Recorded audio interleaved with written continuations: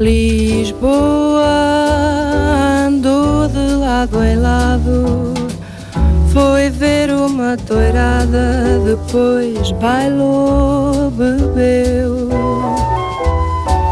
Lisboa ouviu cantar o fado, rompia a madrugada quando ela adormeceu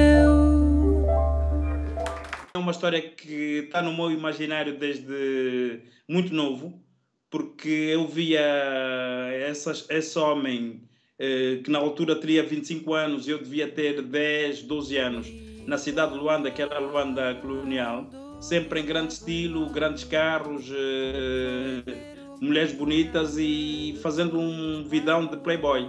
E na altura eu não tinha dimensão do que é que isso representaria. E eh, há 20 anos esta parte eu vim de Bruxelas para Lisboa e encontrei eh, essa personagem aqui em Lisboa e foi aí que a ideia de fazer um filme sobre a vida deles uh, se fez na minha, na minha cabeça.